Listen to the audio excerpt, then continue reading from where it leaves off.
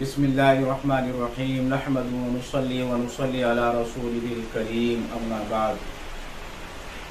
فأعوذ بالله من الشيطان الرجيم بسم الله الرحمن الرحيم رب اشرح لي صدري ويسر لي أمري واحلل عقدة من لساني يفقه قولي صدق الله العلي العظيم میرے عزیز و محترم ناظرین، آج ہم اس ویڈیو میں ذکر کرنے جا رہے ہیں کہ آنے والا سمے یعنی فیوچر میں ایسے حالات آئیں گے کہ آدمی ایک حالت پر برقرار نہیں رہ سکے گا۔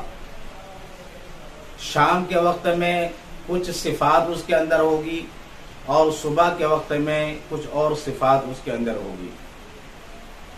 چنانچہ روایت میں آتا ہے، حضرت ابو حریرہ رضی اللہ تعالیٰ عنہ کا بیان ہے کہ حضور اکرم صلی اللہ علیہ وسلم نے ارشاد فرمایا، بادرو بالعمال، کہ نیک اعمال میں جلدی کرو یعنی اعمال صالحہ میں جلدی کرو، نیک اعمال میں سبقت کرو۔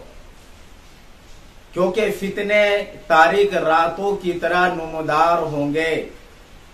تاریخ راتوں کی طرح نمودار ہوں گے۔ اور ایک ایسا وقت آئے گا کہ آدمی صبح کے وقت میں مسلمان ہوگا اور شام کے وقت میں منکر ہو جائے گا یعنی کافر ہو جائے گا۔ اور شام کے وقت میں کافر ہوگا تو صبح کے وقت میں مسلمان ہو جائے گا یعنی ایک حالت پر برقرار نہیں رہ سکے گا۔ تو اللہ کے نبی صلی اللہ علیہ وسلم نے ارشاد فرمایا کہ ایسے وقت آنے سے پہلے پہلے نیک اعمال میں جلدی کرو۔ وہ فتنہ کب آئے گا، کہاں سے آئے گا، کس طرح سے آئے گا، کسی کو معلوم نہیں۔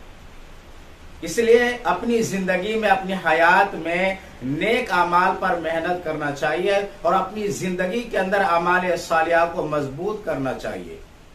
کہیں ایسا نہ ہو کہ فتنہ نمودار ہو جائے اور وہ نیک اعمال نہ کر سکے۔ اللہ رب العزت سے دعا فرمائے۔ اللہ رب العزت ہم سب کو حضور اکرم صلی اللہ علیہ وسلم کے پیغام پر عمل کرنے کی توفیق نصیب فرمائے۔ وما علینا الا البلاغ۔